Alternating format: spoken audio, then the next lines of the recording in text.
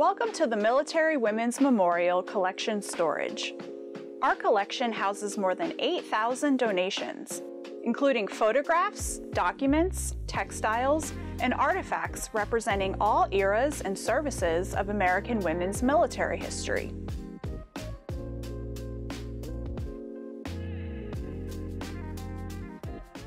During World War II, Americans at home and abroad had to do without many goods that were in short supply.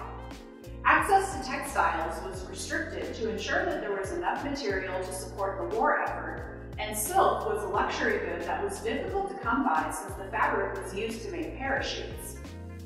Many servicewomen who got married simply wore their uniforms during their wedding ceremonies, but others found ways to make more traditional gowns.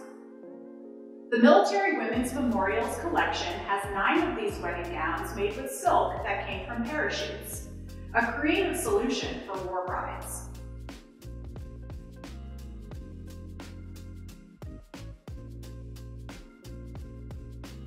This gown belonged to Army nurse First Lieutenant Nellie Adrienne Radican.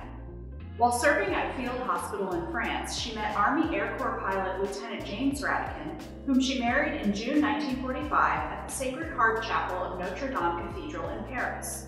A Parisian dressmaker used the only silk available for Adrienne's dress, the groom's Army Air Corps issued parachute.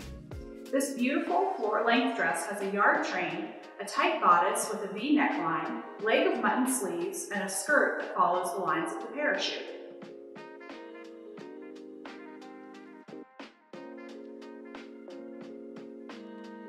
Another gown in the memorial collection belonged to Army nurse First Lieutenant Esther Lund Lashir, who was assigned to the 106th Evacuation Hospital to follow General George S. Patton's Third Army. Her brother Norman, who served in the tank destroyer battalion in Patton's army, brought her a German parachute that he had found on the battlefield, knowing that she was planning to marry Captain Saina Lashir once the war was over. The couple wed in Salzburg, Austria in September 1945. Lashir's gown has a chapel train, a ruche bodice with a V neckline, bishop sleeves, and buttons down the back.